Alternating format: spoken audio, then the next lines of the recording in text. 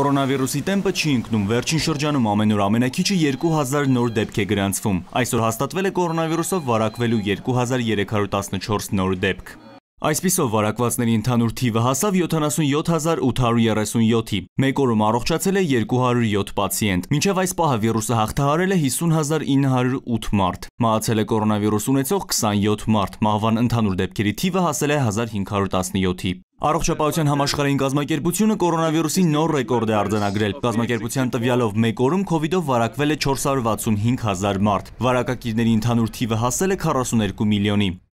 Ամբողջ աշխարհում վիրուսից ապաքինվել է 31 միլիոն 718 հազար մարդ, մահացել է 1 միլիոն 155 հազար մարդ։ Վարակագիրների թվով առաջատարը Միացյալ Նահանգներն են, որտեղ հաստատվել է կորոնավիրուսի 8 միլիոն 829 հազար դեպք։ 7 միլիոն 866 հազարով երկրորդ տեղում Հնդկաստանն է, հաջորդում են Բրազիլիան, Ռուսաստանը եւ Իսպանիան։ Տարբեր երկրներում կորոնավիրուսի նոր ալիքներ են տարածվել։ Արտակարգ դրության ռեժիմ է հայտարարվել Չեխիայում, Սլովակիայում, Իտալիայում, Ֆրանսիայում, Իսպանիայում եւ Մեծ Բրիտանիայում։ Միացյալ Նահանգների նախկին նախագահ Բարակ Օբաման Ամերիկայում կորոնավիրուսի վարակման բարձր ցուցանիշների համար մեղադրել է գործող նախագահ Դոնալդ Թրամփին։ Օրեր առաջ նախագահի տեխնացու Ջո Բայդենի հանրահավաքի ժամանակ Օբաման Թրամփի գործելավոճն անվանել է ռեալիթի շոու։ But it hasn't happened.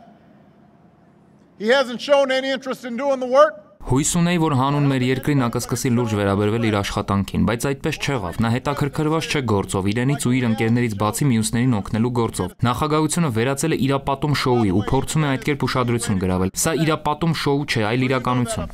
Օբաման նշել է, որ ամերիկացիները ստիպված են լինելու շարունակել ապրել Թրամփի սխալ աշխատանքների հետևանքների պայմաններում։ Ավետիս Հարությունյան, ժամը լրատվական։